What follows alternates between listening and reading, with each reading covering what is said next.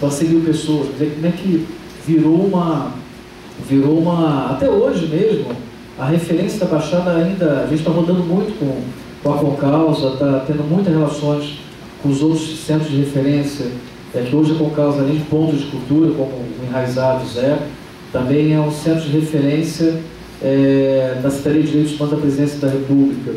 Né? Então, a gente tem trocado muita informação e, óbvio, vem sempre a questão da violência letal e a gente tenta colocar na questão dos direitos humanos, destacar a questão da cultura como esse instrumento de enfrentamento às violências. Então, animou muito a gente estar contribuindo com isso. De imediato, a gente estabeleceu uma relação, não só com o professor Álvaro, mas com os alunos, que hoje também são colaboradores da Concausa.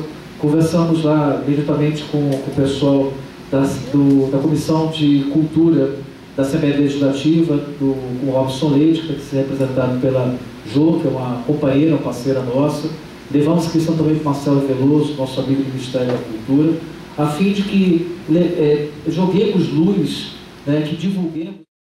Se Deus quiser, a gente vai estar tá conversando com vários colegas de criar um, um espaço físico aqui na Baixada, é, além de um, um, espaço de memória né, das violações que tiveram, um museu de território. A gente está convicto em criar essa iniciativa. Se a gente vai conseguir ou não, é uma história. Mas pelo menos a gente tem lá essa meta que seja local de referência e está hoje conversando com a academia, com os ministérios, para que se consiga isso. Então, realmente, para finalizar, eu quero dar muito parabéns para o professor Alva pela iniciativa, pelos pesquisadores, pelo FRJ pra, por acatar, né? e assim, é, nos ajudem nesse processo, né? contribuam o que for, indiquem as, as, as iniciativas, que quando a gente chegar na comunidade lá, com certeza, jogando uma luz naquele local, a gente provavelmente vai evitar algumas mortes. Parece ser extremista, mas não, de fato isso acontece.